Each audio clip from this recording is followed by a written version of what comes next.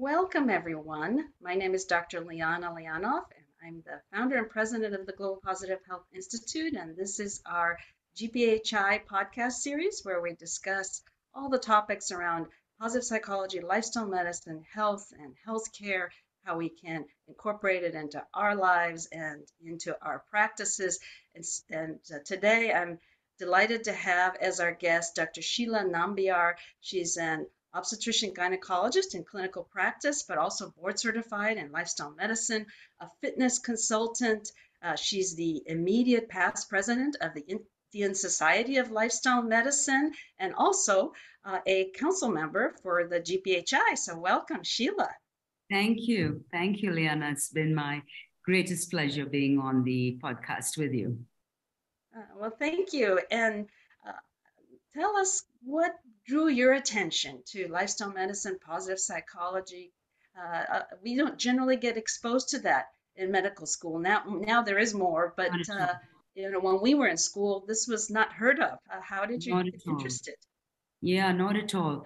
Um, I think it was a combination of life experiences and my observations in my clinical practice, Liana, because uh, when I started my practice three decades ago, the one thing I noticed was that there were a lot of questions that were unanswered my, with my patients. While they came with specific problems, uh, their health did not necessarily improve, meaning to say that the symptoms may have gone away, but their state of health, state of mind did not necessarily improve. And there was more to it than just treating symptoms. And uh, being an athlete from a very young age, uh, I started incorporating fitness. For me, it started with fitness. So I started incorporating fitness into my uh, clinical practice by prescribing exercise and, you know, and I started teaching exercise after certifying to be a personal trainer. And um, from there, you know, I noticed the both the physiological, the physical, as well as the mental and emotional changes that women experienced when they exercised on a regular basis. And there's enough and more research on that. And um, interestingly, it was also my deep interest in the uh, philosophy of modern Stoicism, which, as you know, is connected very closely to CBT and positive psychology. And when I discovered that, uh, you know, there was this conference in, um, was it in Taipei? I think it was the first uh, lifestyle med- Asian uh, lifestyle medicine conference in Taiwan. I was like, oh my God, I didn't even know there was a field like lifestyle medicine, which actually brings together everything that I've been uh, passionate about. And I went running off to Taiwan and attended the conference and then to Manila and attended the other one. And there we were exposed to positive psychology and um, I've been deeply interested in the human mind and the workings of the human mind. So when I heard about positive psychology, I was like, this is exactly what what it is. You know those unanswered questions um, about improving health and not just the mere absence of disease. This is what it is thriving instead of languishing and positive health as you and martin seligman have been talking about. Um, i felt that this is the gap. This is the thing that fills that gap, uh, both positive psychology and lifestyle medicine. And um, there was no looking back uh, after that. Yeah. Well, you've been a passionate supporter. So thank you very much yes. as uh, the Global Positive Health Institute is putting together this positive health course so yes. that we can jointly, through our passion, uh, really yes. spread the word to our colleagues uh, because it's also very important for our personal well-being as well as in Absolutely. our clinical practice. And so, yeah. along those lines, how do you use uh, the, this knowledge and these skills and habits for yourself and in clinical practice? Yeah, I found the um, the VIA Strength Survey identifying top five strengths i found that very very useful because it kinds of gives you a guiding uh, you know a, a, guideline as to how to develop in what direction to develop not just your top five strengths but your lowest strengths as well when you look at those and then how to improve that as well.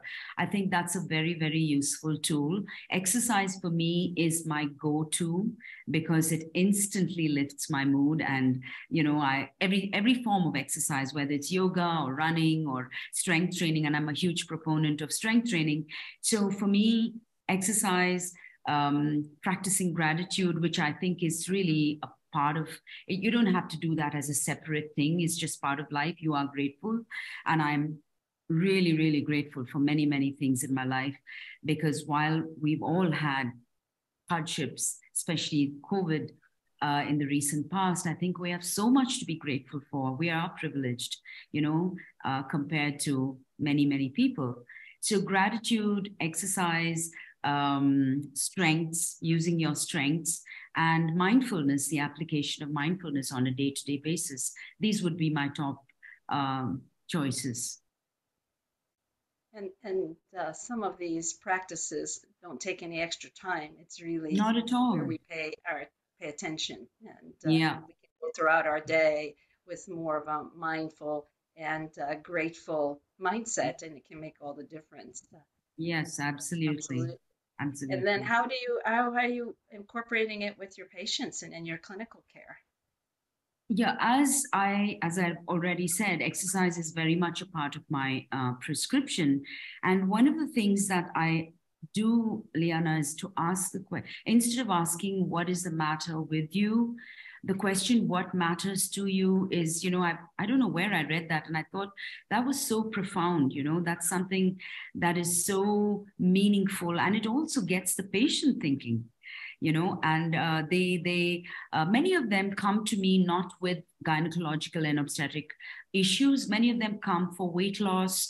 Many of them come with you know how do you deal with polycystic ovaries which are all connected you know there are metabolic diseases.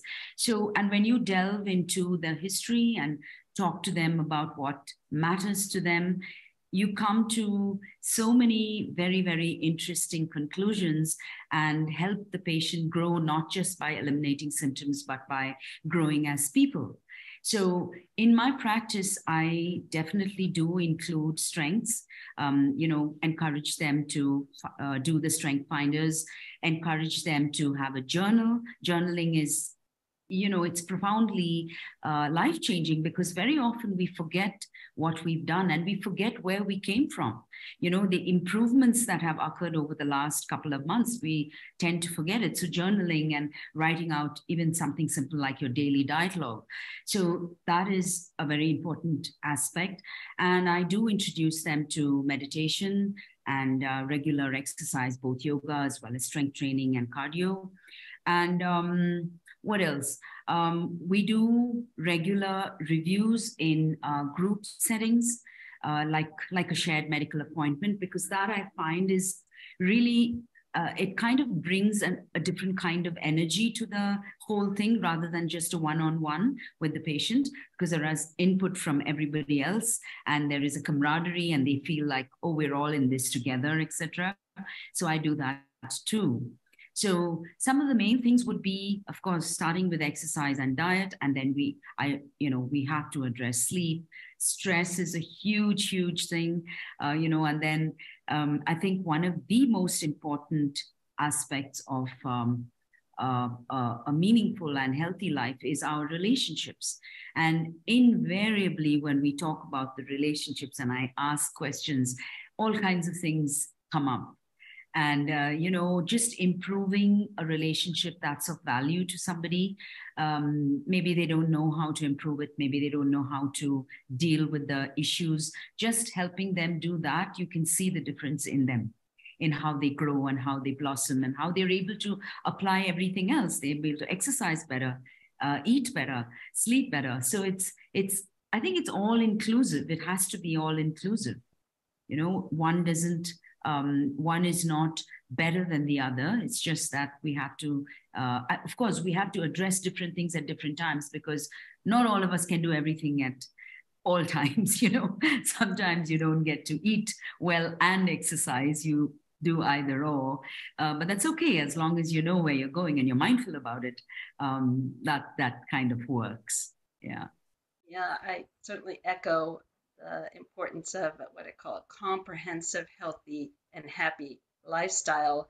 And, uh, and of course, the behavior change is one of our biggest struggles for yeah. all of us, especially as we get busy.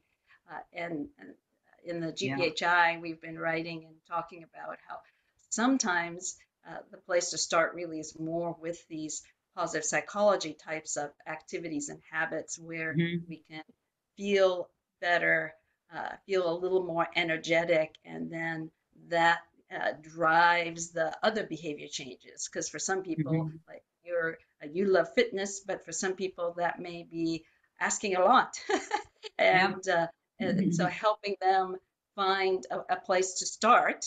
And oftentimes it's well, what makes you feel better?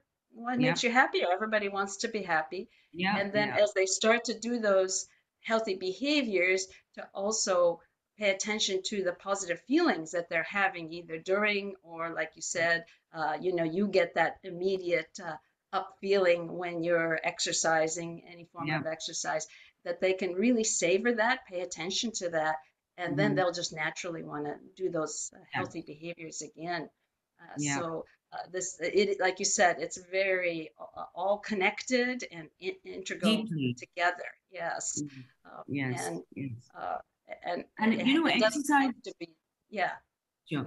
Exercise doesn't have to be strenuous right away. It doesn't have to be the most difficult thing. It could be something you enjoy, like dancing, maybe. Maybe, you know, that speaks to you, music speaks to you, and it could be that, you know, and then build on that as you go along. So, uh, like you said, you can start at a place that you are comfortable, whoever the patient is, and then work from there because there are so many tools that positive psychology offers us. You can choose any one of them from the toolkit and then uh, take it from there. You know, so yeah, the choices are multiple. That's uh, that's terrific advice. Any other tips you might share with colleagues who are interested in doing more of this that maybe haven't done so much and they're wondering, boy, uh, where do I start? Or maybe patients yeah. may be difficult to work with because this is asking yeah. a lot of our patients. Uh, what advice yeah. do you have? Yeah. Um, I think, you know, Liana, if uh, probably lifestyle medicine is the only field that uh, emphasizes the need for the physician to walk the talk you know you don't as a cardiologist you don't need to get have a heart attack to be to to to treat a heart attack. As an obstetrician you don't need to have a baby to deliver a baby. But in lm you do need to practice the uh, pillars of lifestyle medicine. And i think when you start to do that you don't have to like i said you don't have to be 100% in all the pillars. But when you start to do that uh, two things happen. Of course, you do, uh, you know, the positive emotions, the, uh, the physiological changes, all of that comes about. But you also realize the difficulty in trying to you know stay stay on course and that makes one more empathetic towards the patient that you're trying to advise so it works both ways and i think it's really important that all uh, practitioners physicians of lifestyle medicine definitely do practice it and i think uh, starting small with just asking the right questions, even the just questions, open-ended questions like the diet, a dietary call, or how often do you exercise in that? These are simple questions that don't take too much time. And then set aside that if the patient is more inclined to uh, follow up on those lines, set aside some more time to do a more extensive consultation because I know, especially in India, uh, we do have we are very limited uh, in time where we when we deal with patients. It's barely 15 20 minutes. And you don't really get much in that time. But i think we do need to um, spend a little time by collaborating with let's say a psychologist uh, a physiotherapist a dietitian so that we can it can be a team effort. It, i don't think it can be done alone. So it, it needs to be a team effort. And um, and set aside those patients who are willing to go the extra mile, uh, set aside more time for them, have them come back for reviews. And like I said, the shared medical appointments are really useful because it covers many people and um, one is able to cover a lot of ground in that one hour because you would be spending about an hour with maybe 10 15 people. And i did that a lot with my antenatal and postnatal patients you know. Uh, while teaching them antenatal postnatal exercises we would also troubleshoot and talk about their problems. And it was a very very invigorating they were very invigorating sessions. So that would be could be one way to go.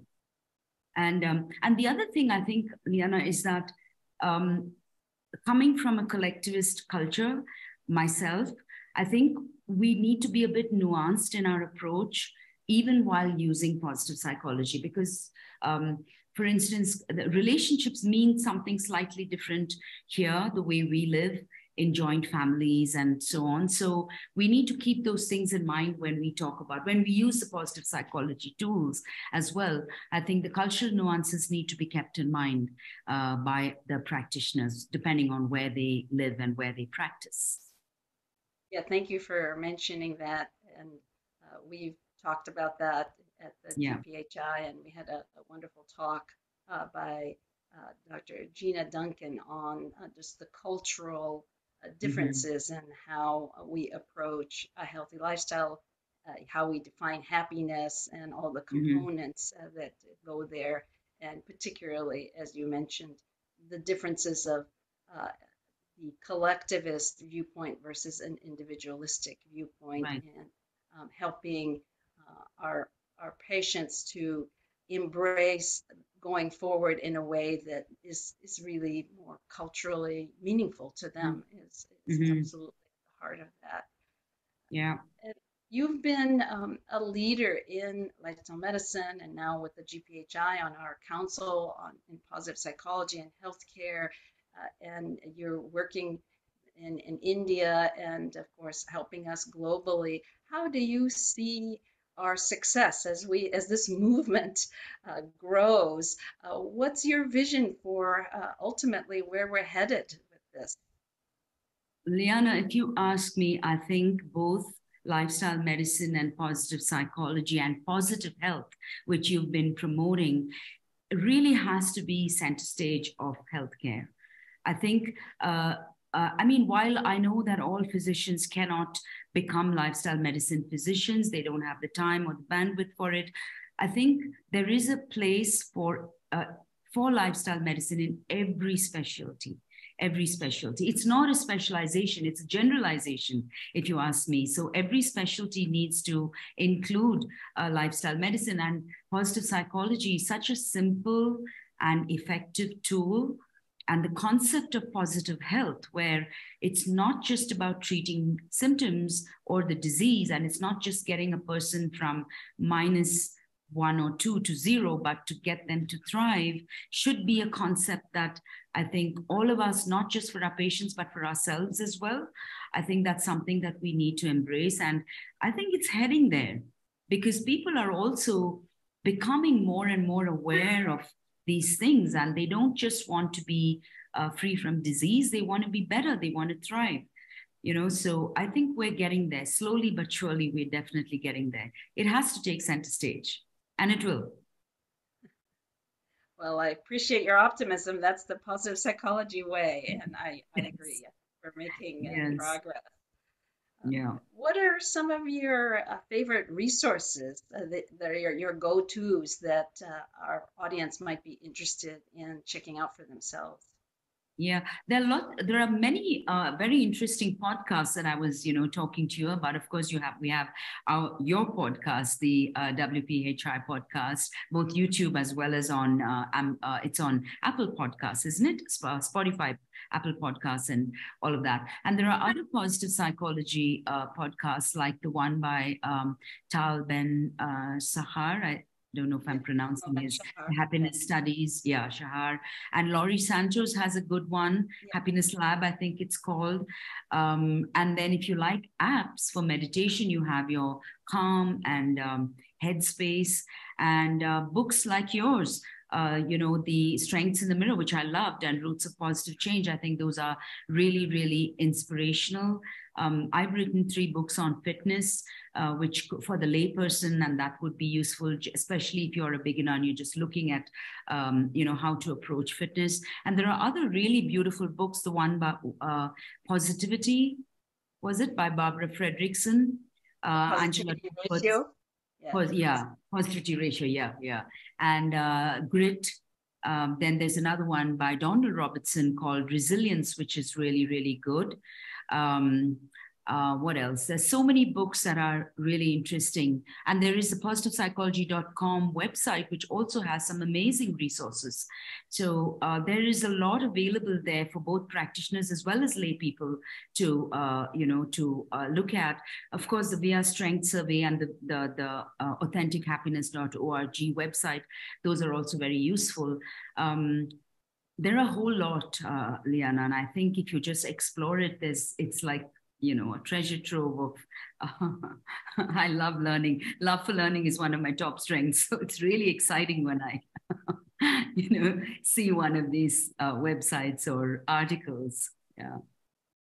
Well some of those we have on our resources list on our website uh, and some of those that you've just mentioned i'm uh, i'm being reminded we'll add to our website as well. Yeah. Uh, yeah. we have mm-hmm. growing like you said there are many and growing and uh, yes, uh, we pride ourselves in packaging all that for our health profession audience, especially, so they can yes. use it for themselves and and uh, write prescriptions even for these kinds of uh, resources for their patients. Yes. Yeah. yes um, yeah. called bibliotherapy is good therapy, as well as now podcast therapy.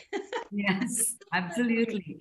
Listening to a podcast is my favorite pastime when I'm walking, you know, go for my early morning walks. I love to listen to podcasts and, you know, just get that little bit of inspiration early in the morning. And uh, the, the, your podcast is one of the few, one of the many that I listen to and enjoy completely. Yeah.